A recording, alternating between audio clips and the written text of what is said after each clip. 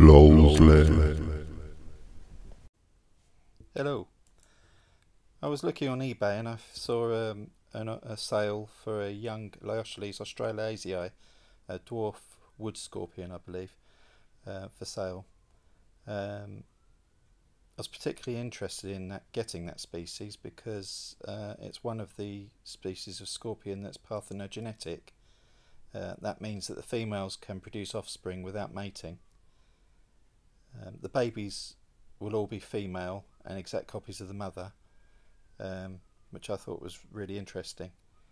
Um, so I bought it, the box arrived. It's quite a big box for one scorpion. Um, so let's have a look what's in it. Actually, there are quite a few layers to speed, so I'll speed through this bit.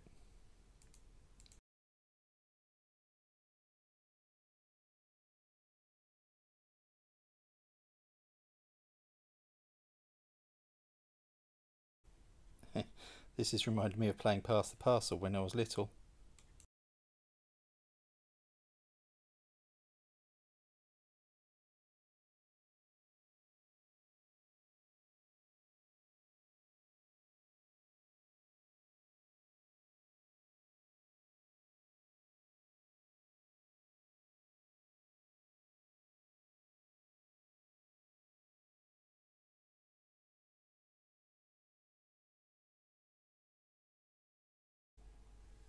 So there it is, that big box, and now we're down to this tiny uh, little vial, most of which is tissue paper. Let's zoom back out and we'll, uh, we'll go in to see what's inside it.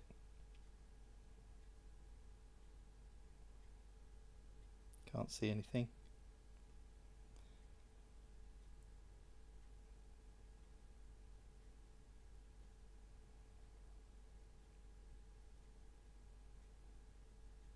If this is empty, I'm going to look really foolish.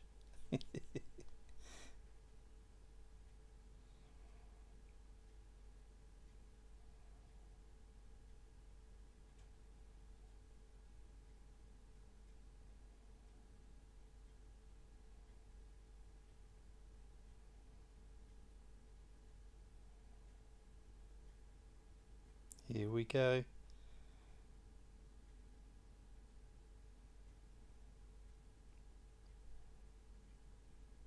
Oh my gosh, it is the tiniest scorpion I have seen in my life. Let's turn it around to see if we can show you a better picture of it.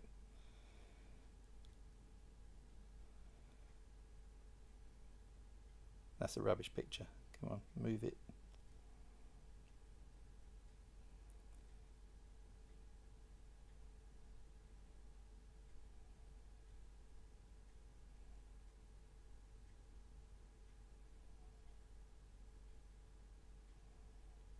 Look at the size of it. what on earth am I going to feed it? I also struggled to find find an enclosure for it, so I'll do a quick cut to uh, the enclosure I managed to find where it wouldn't be completely swamped. Uh, and here it is. Spot the scorpion. It took me a couple of goes.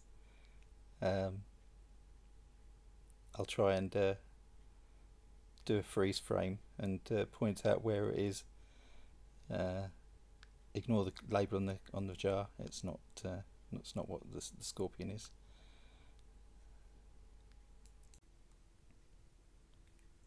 So there it is. You just see a tiny, shiny pit bit from its uh, body as it's uh, trying to hide under the cork. Thanks for watching, and uh, hopefully we'll see more of this one once uh, once it grows a bit bigger. See you soon.